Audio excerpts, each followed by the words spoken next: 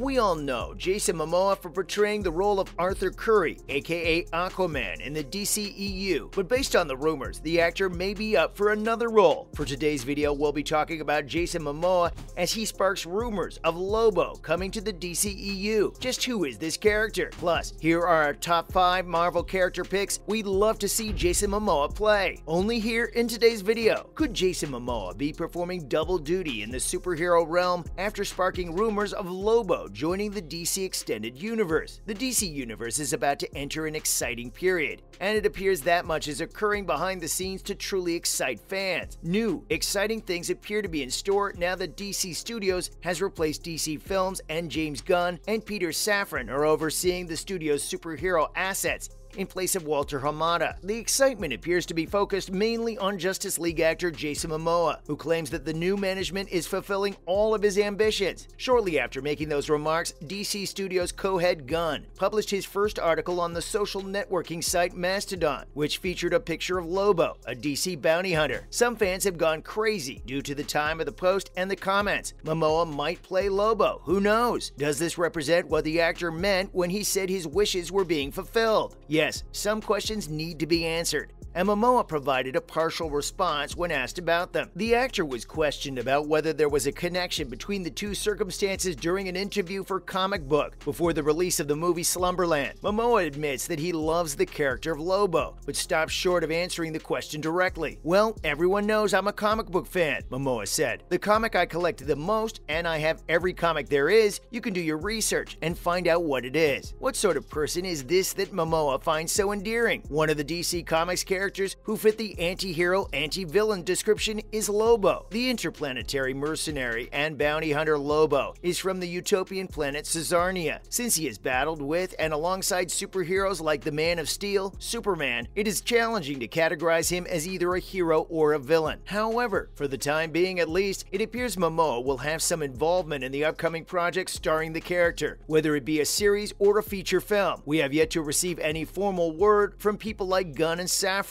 who could make it happen. What are Momoa's possibilities of playing the interplanetary mercenary, given the actor currently portrays Aquaman in the same universe? Is the bigger problem and question. There would already be a precedent established to follow if Momoa were to be chosen for the part. One such instance is the portrayal of Minerva by Gemma Chan in Captain Marvel and Cersei in Eternals. It is unclear whether Momoa's dreams coming true is related to the Lobo tease as well. Now, since we already talked about the possibility of Lobo joining the DCEU, with Momoa portraying the role, we might as well share with you these five Marvel characters we'd like the actor to play. Starting this short list, we have Sabretooth. Jason Momoa has previously portrayed a comic book superhero. So how about a villain? Victor Creed, often known as Sabretooth, is a frequent foe of the Hulk and the X-Men in Marvel Comics. You may already be aware that Sabretooth is Wolverine's greatest opponent. Here's a quick example of how much Sabretooth hates Wolverine. On his birthday every year, no matter where he is, Sabretooth hunts Wolverine and only gives up when he is within a hair's breadth from murdering it. Why? Just because he can. Sabretooth is a bestial superhuman mutant assassin who works as a mercenary. The protagonist is most notable for having a quick healing factor, razor sharp fangs and claws, and frequently kicking Wolverine in the behind. It would be really awesome to see Momoa bring Sabretooth to life, especially with the X-Men frequently being reported to join the MCU. Additionally, isn't his body ideal for the part? Next, we also think the actor would be a perfect fit to play Beta Ray Bill. Beta Ray Bill is the first superhero outside of the Norse pantheon in Marvel Comics who is deserving of holding Thor's hammer Mjolnir. The character was designed to shock audiences by changing from a monster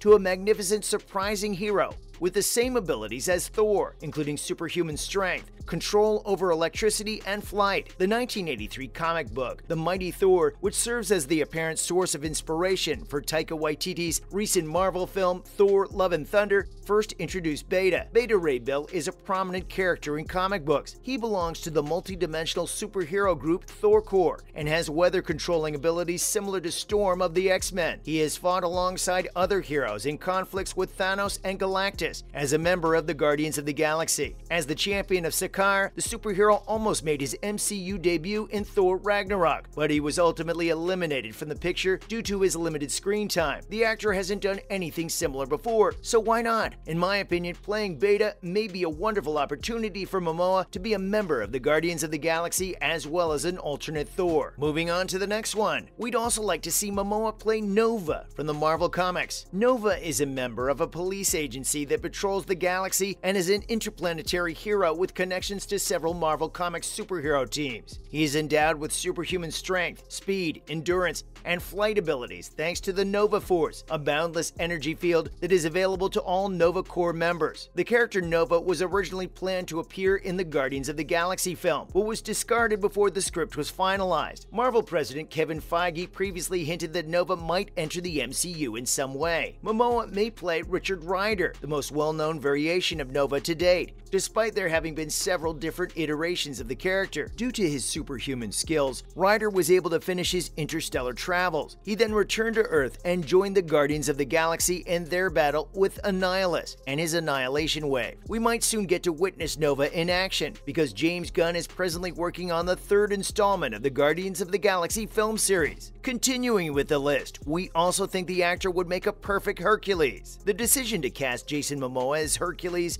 is entirely based on wishful thinking, but we have no doubt that he would do an outstanding job. Have you seen the man, for instance? Anyway, MCU Phase 4 made extensive use of the mystical elements seen in Marvel Comics, with prominent roles going to the Scarlet Witch, Agatha Harkness, Doctor Strange, and Loki. How long until more Greek heroes, like Hercules himself, appear in the MCU? Russell Crowe has confirmed he will play Zeus in Thor Love and Thunder. Marvel Studios partners and directing team Joe and Anthony Russo revealed in 2020 that they were developing a live action Hercules movie based on the animated 1997 film alongside Shang-Chi author David Callaham. The movie's plot will either be a fresh adventure or a reimagining of an already existing story, which we don't yet know. It's important to remember, though, that the character is crucial to the secret invasion plot. Hercules creates a group called the God Squad to combat the Skrull gods who are orchestrating the invasion of Earth. Hercules could soon make his big screen debut because Marvel Studios is currently adapting the Secret Invasion narrative for a Disney Plus limited series. And finally, wrapping up this list is none other than Ka-Zar. Imagine Tarzan, but with Marvel. One of the earliest superheroes in the history of Marvel Comics is Ka-Zar, also known by his far less cool moniker Kevin Plunder. Ka-Zar, who is frequently referred to as Marvel's Lord of the Jungle, resides in Savage Land, a remote region of Antarctica where the primordial environment has been preserved by ancient alien technology. Due to his experience surviving in the Savage Lands wilderness, the character has aided Spider-Man and Daredevil in the comic books and is a better combatant than even Kraven the Hunter. He lacks the superhuman physical ability, but he has developed close to superhuman hunting, athletic, and martial skills. When the Skrulls invaded Earth, Ka-Zar played a crucial role in uniting the many Savage Land tribes to resist the aliens. It seems like a good time to allow Ka-Zar to make his MCU debut because the MCU seems to be pushing into its Skrull-related storylines. Mind you, all of these characters are nothing but wishful thinking, but we can't help but wish at least one of them gets to be portrayed by Jason Momoa. From the looks of it, Lobo is our best bet that could make a debut in the DCEU. While waiting for confirmation, you can watch Jason Momoa in his newest Netflix project, Slumberland, which premieres on November 18th. With that, we're wrapping up today's video on the possibility of Jason Momoa portraying the role of Lobo in the DCEU. Which other Marvel or DC character do you think fits in the best? Let us know in the comments section below. Thanks for watching today's video, and before you go, don't forget to leave a like and subscribe to our channel with the notification bell on for more videos like these. See you next time!